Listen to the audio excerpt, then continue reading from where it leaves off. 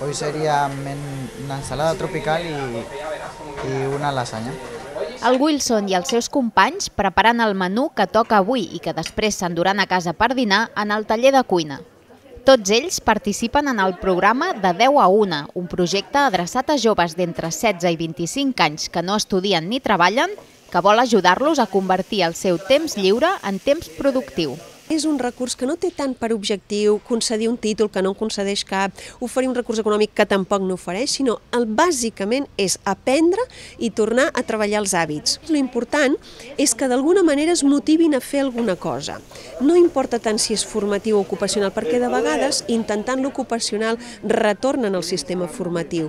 De dilluns a divendres, aquests nois venen a l'Espai Jove a les Basses de Nou Barris per fer activitats i tallers. Fem màgia també, fem esports, fem sortides per Barna, no sé, fem, fem tallers. Amb això, però, no només es vol ocupar el temps d'aquests joves, sinó que també se'ls vol oferir recursos per orientar-los de cara al seu futur educatiu o laboral. Ens ajuden una mica pues, a anar buscant altres cursos, no només fer això, saps? Poder fer, bueno, no sé, altres recursos ens donen ells. Aquí te ayudan a buscar centros de ciclomedios y te ayudan a entrar a unas clases por las tardes y prepararte para los exámenes. Y te informan, aquí te buscan, te buscan sitios donde puedes encontrar trabajos.